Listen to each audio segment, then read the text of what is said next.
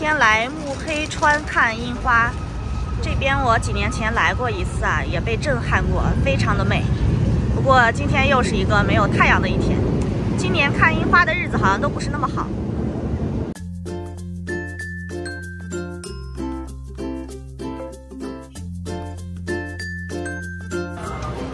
对面就是樱花，我们现在先排队，排队点餐。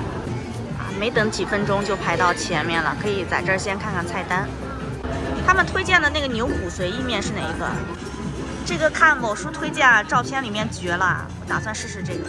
我们整了一个窗边的，这样也方便。从来没有见过黑色的湿巾，应该是干净的吧？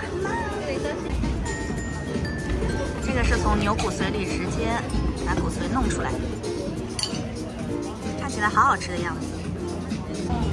哇，这个披萨看起来不错哎。那什么？哪贫穷？是有点焦啊，点的。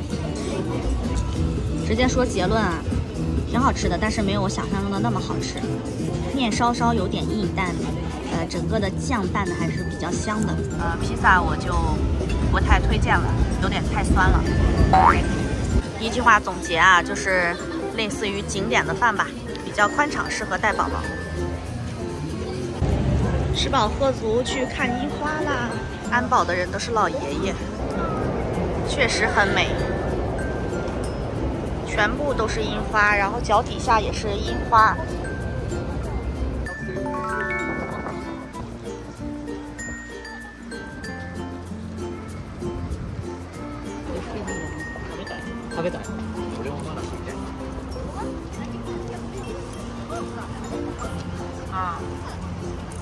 嗯。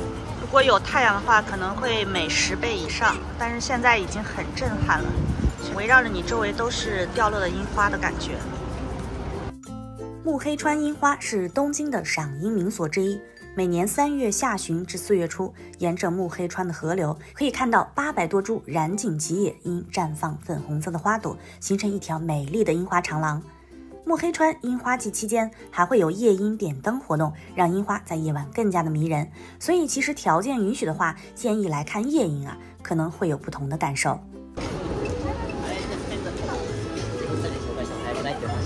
路边还会有卖这种啊草莓的饮品。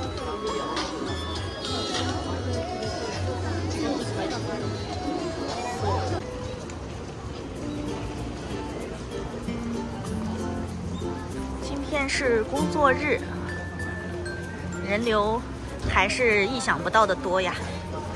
不过我个人觉得比上野公园稍微好一点，因为上野公园的人流实在是太多了。我在那儿只感觉到人很多了，可能因为这边有来去两条路，然后把人都给分流了吧。这个小姐姐的鸡蛋烧看起来很好吃的样子。全场我忘了，但是要走很久的。一点多公里吧，还是有两公里。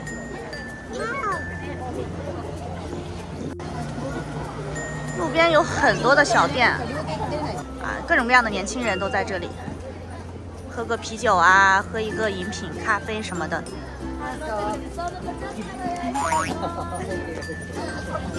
看起来好好吃的样子，但是我已经吃饱了，生意很好啊。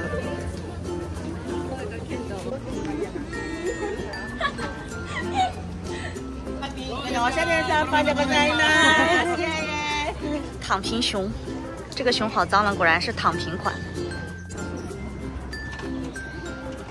除了樱花，旁边的路上基本都是小商摊儿，一路上吃喝过来都不带重样的。现在呢，樱花已经开到最大的时候了，然后一直有落樱出现了，风一吹就开始飘樱花。呃，肉眼看到的世界是非常美丽的。我的手机可能拍不出那样的效果。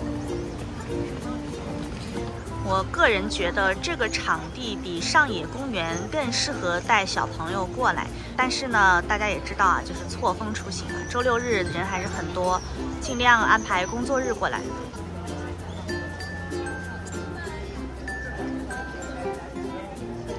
这条河已经变成樱花瓣的河了，可以看到河里全部都是樱花瓣。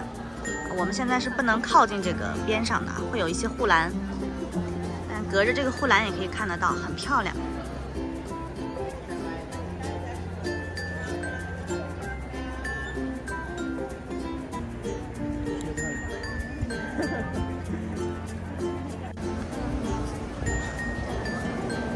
哇，风一吹，漫天的樱花瓣儿。很是唯美啊！什么也不用干，然后静静的看着樱花飘落，享受着自然带给我们的这种冲击。这样一个下午过去了，好可爱的盆栽，巴掌大的一点。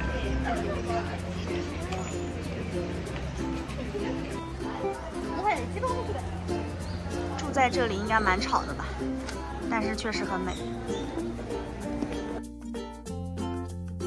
老舍先生曾赋诗奈良樱花：“乡情莫问天边月，自有樱花胜洛阳。”周恩来总理也曾赋诗：“樱花红陌上，柳叶绿池边，燕子声声里，相思又一年。